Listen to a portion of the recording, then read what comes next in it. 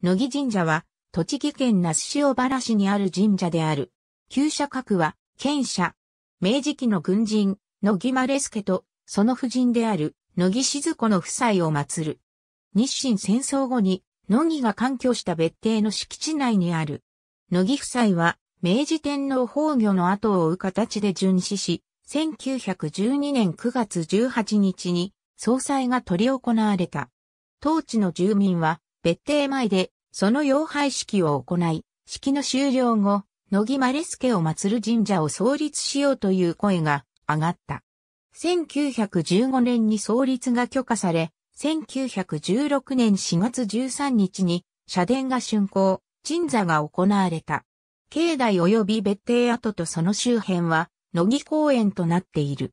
参道には、約100本ものソメイヨシノの桜並木が800メートルに渡って連なり、桜の季節には花見客で賑わう。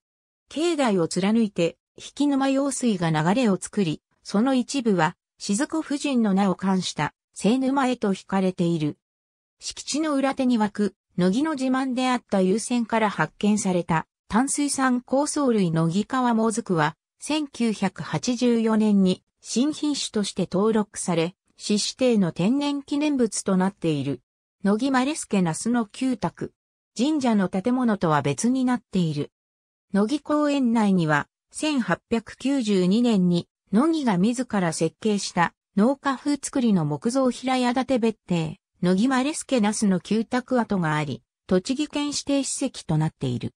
乃木は1892年、1898年、及び1901年から1904年の間、この別邸に環居し、農業に従事して、給食の期間を過ごした。現在の聖沼は、乃木の生前には、彼の水田であったという。乃木別邸は1990年10月28日の不審火によって消失し、乃木神社ではこれを過激派による放火であるとしている。乃木別邸は、その後1993年に復元されている。ありがとうございます。